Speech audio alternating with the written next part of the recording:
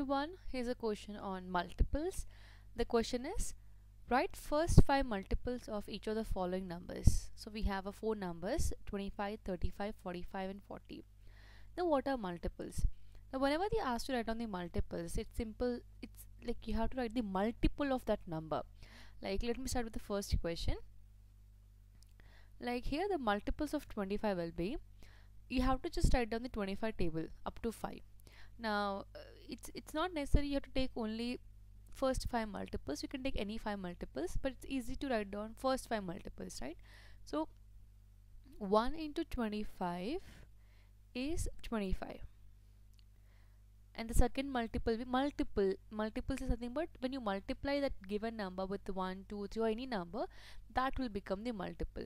Now 2 into 25 is equal to 50 and 3 into 25 is equal to 75 now 4 into 25 is equal to 100 the last one is 5 into 25 is equal to 125 so here 25 50 75 100 and 125 are the multiples of 25 okay i'm not writing here in the sentence that 25 50 75 100 and 125 are the multiples of 25 i hope it's clear.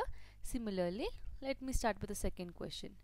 Now here we have 35 so let me write down here. 1 into 35 is equal to 35 then 2 into 35 is equal to 70 then 3 into 35 so if you multiply uh, 3 into 35 is equal to 105 and then 4 into 35 is equal to 140 and 5 into 35 is equal to 175 so here 35 70 105 140 175 are the multiples of 35 okay?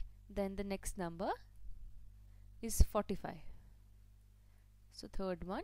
So 1 into 45 is equal to 45 so 2 into 45 so you can do this.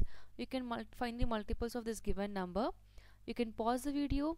You can do this by yourself. You can come back and check the answer.